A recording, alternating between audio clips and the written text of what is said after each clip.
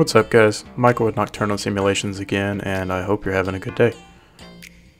Today we will be going through the startup and initialization of the Honda Jet. I know that this is a popular jet for both PC and Xbox and I figured this series might be helpful for some. You may notice that we are in Sedona, Arizona and I've bought the X-Codr Designs Airport Scenery alongside the Sedona Red Rocks Terrain Pack also from X-Codr, both of which are available on the marketplace. I hope to have a video exploring some of this fascinating terrain in the near future, so stay tuned. Let's head on out to the ramp and take an initial walk around the airplane itself. Alright, so first thing you'll notice over here is the external power supply. Uh, this is extremely helpful for if you're sitting around for too long or like we're doing right now making a video or whatever reason because the batteries in this aircraft are actually modeled so if uh, you let it sit for too long, the batteries will drain to the point that one, the engines won't start, and then shortly after that, your avionics will actually shut off. As you can see, everything is modeled very nicely in this aircraft for the external model. Um, I'm very pleased with FlightFX's products, especially this jet and the Vision jet itself. And so far, been very pleased with the overall quality of specifically the Honda Jet and just how nice it's modeled and uh, how easy it is to fly. And we'll get to the flight section here in a little bit, but right here's your speed brakes. You got your uh, your uh, lightning arrestor antennas, your trim tabs, trim tabs. You can actually go into the systems and Load up cargo if you want to. Open up the cargo doors.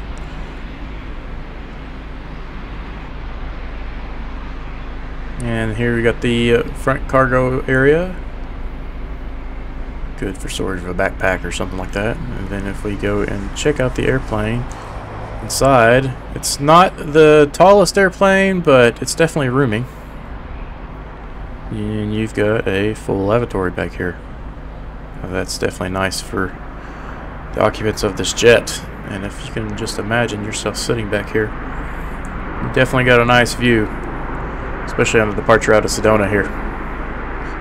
So, with that being said, we will cruise on up to the front of the aircraft here and go ahead and get into the cockpit. Currently, the plane is sitting cold and dark, and uh, let's go ahead and hop into the seat here. Alright, now that we're in the cockpit, we'll go ahead and turn the battery on. Aural warning. And the okay. Garmin systems will go through their self-checks and start up here.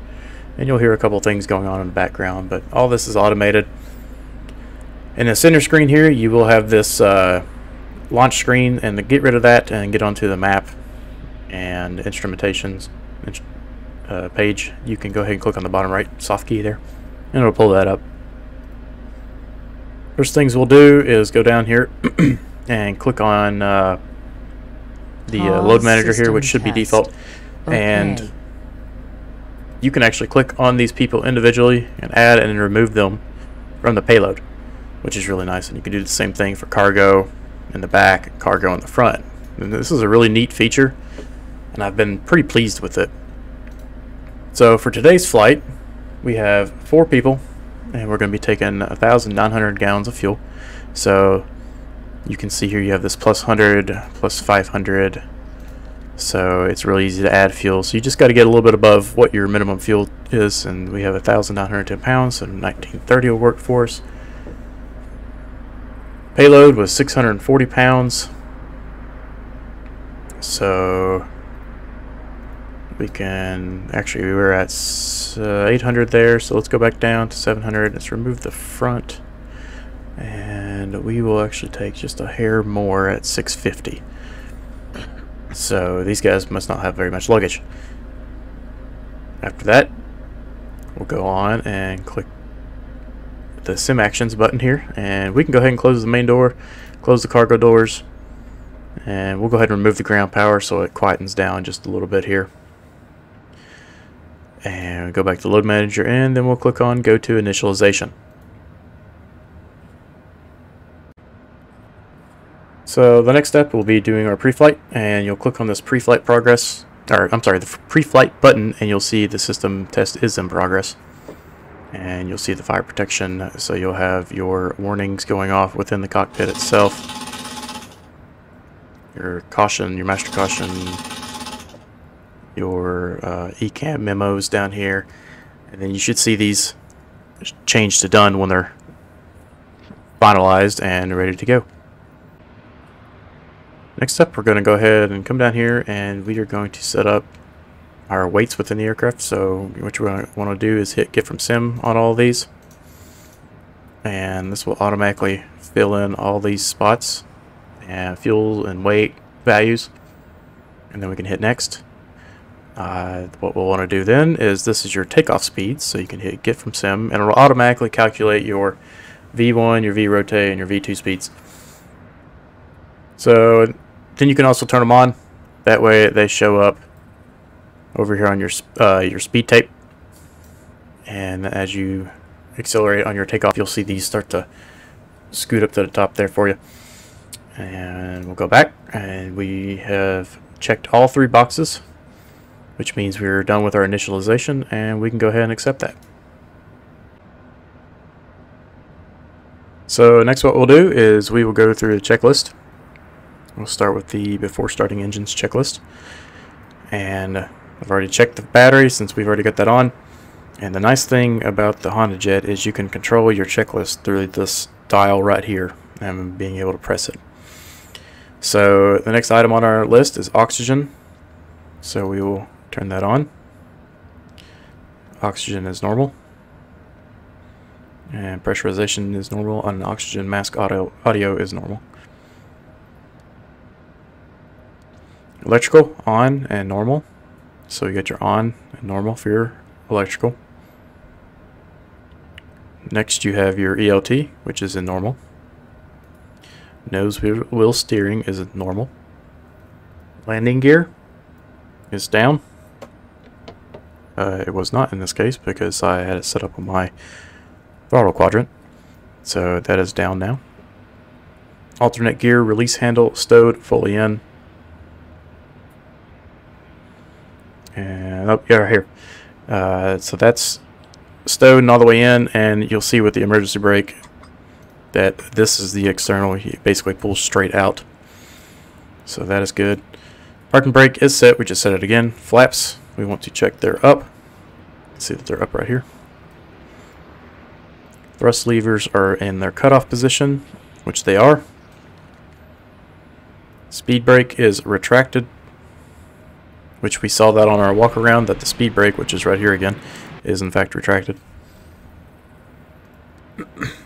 ice protection is normal and off, so you got your normal, normal, off, off for your engine ice, and normal for your tail de-ice. Fuel panel is normal, so we go back down here again.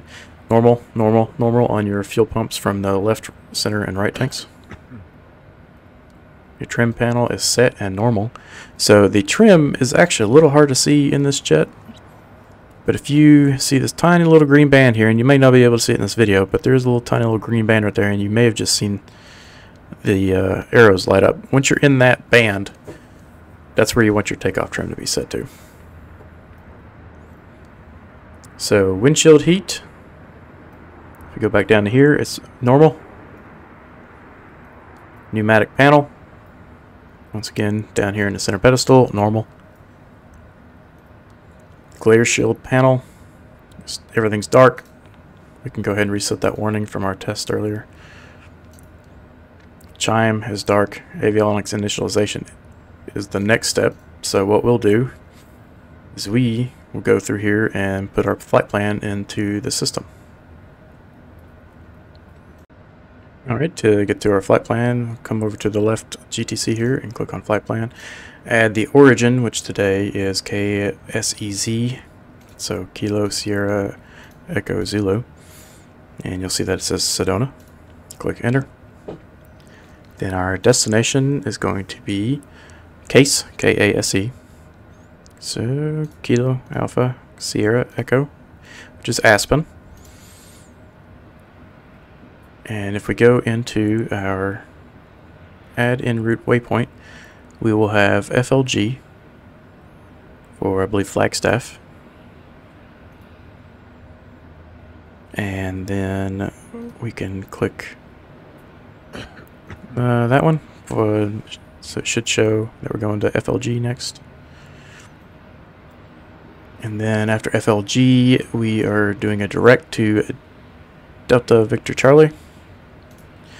Delta Victor Charlie. Enter. And after that, we're going Delta Bravo Lima. Which I need to insert after Flagstaff. No, sorry, go back. Duff Creek. Insert after. And Delta Bravo Lima. And click enter. And this uh, this is the one that we're going to want. Just, uh, this is all the way over in China. So we can go up here and look at this. And you can see that we got Flagstaff, Dove, and then Red Table. And what we'll do next, go to procedures, departures. There's no uh, SIDS and stars for these two airports, really. Uh, just, uh, there's not really a departure for Sedona outside of just runway 3, so we'll go back. The arrival, like I said, same thing. Just set up the runway 15, which is our arrival runway, and then our approach. We do have the localizer 15 going to Ajax, so we will go ahead and load that in. And you see that it built up everything there. So if we go back to our flight plan, we can click on uh, flight plan options, show on map, and we can navigate around. Use your mouse here to zoom around a little bit. Got to click and drag a little bit, and then you can zoom in and make sure everything looks alright. It's a little finicky, but it's a nice way to zoom around. Which I definitely we just went to the wrong airport. So let's uh, zoom back out and go on up the case. Let's see if we can put that crosshair, which will be uh, where you zoom in, kind of close, if I can get the zoom direction correct. And then here you can see that we got a bit of a funky entrance because of that uh, red table waypoint there, the DBL. So for case, this is actually not a bad thing because this will give us a chance to get our speed and everything under control before we descend down into the airport. So this all looks good. And with that being said, we can go back. And now our flight computer is programmed so that we can follow the flight path to Aspen. Next, we'll continue on through our checklist. So, passenger briefing. Our departure states that we will be running or taking off of runway 3 from Sedona here. The, on a calm day, Noise abatement procedure in effect. Scenic flight below 6500 MSL is not authorized. So as far as taking off from this airport, we will just do a straight out and then we will join our first waypoint. So I'll go ahead and click through that. Rudder pedals are adjusted. Seat belts, everybody's got them on. Doors are closed.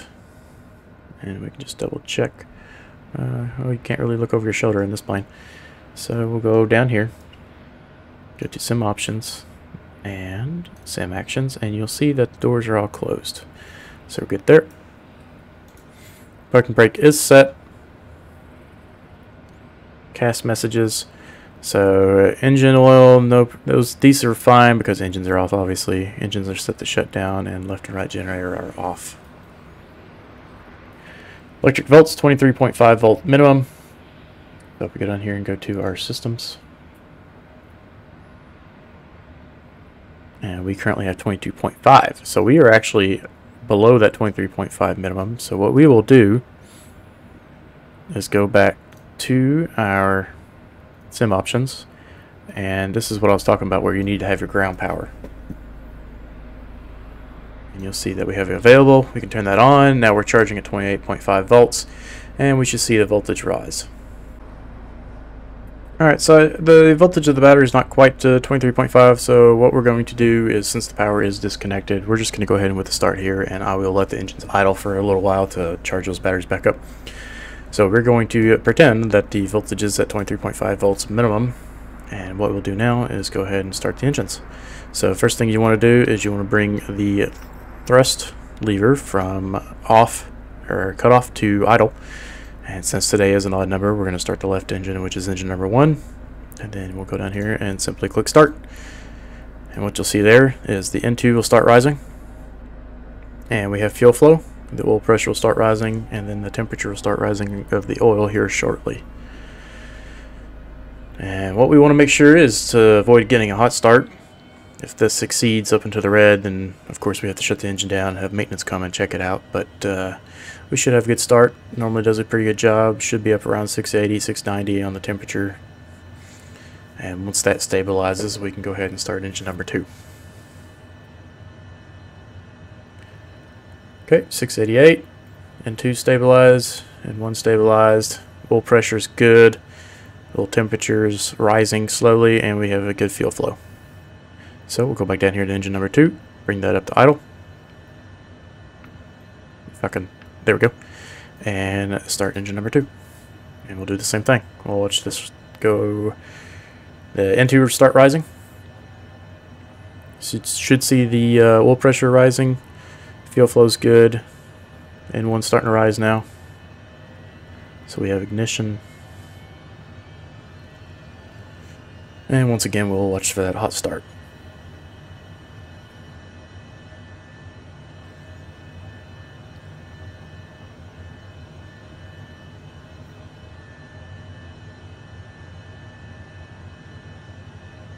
Looks like we got identical engine temperatures. Uh, oil pressure is identical, and the temperature is rising and should stabilize around the 74 degrees, 75 degrees, uh, just like engine 1. Uh, got good fuel flow on both engines. So we can go back down to our checklist. Engine start, instrument, instrument, engine instruments, excuse me, uh, are good. Engine anti-ice as required. Today is a perfectly clear day. There's no need for anti-ice, so we leave that off for now external power disconnect.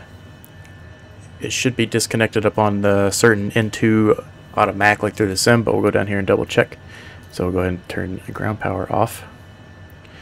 And I actually use the E2 auto throttle mode, and we'll get into that in the next video, but go over here and check that our external power is good. And the last thing on this checklist is we will double check those flight controls are free and correct and that you have the correct gear set up for your home cockpit. Alright guys, that's it for this video. I want to make these videos in small digestible chunks so that it's easy to follow and you can uh, skip around easily and they're nice and short for you.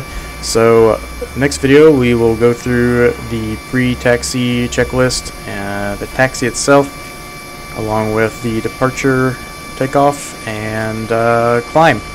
So look forward to the next video. I should have it out here in a couple days, and uh, I'll see you then.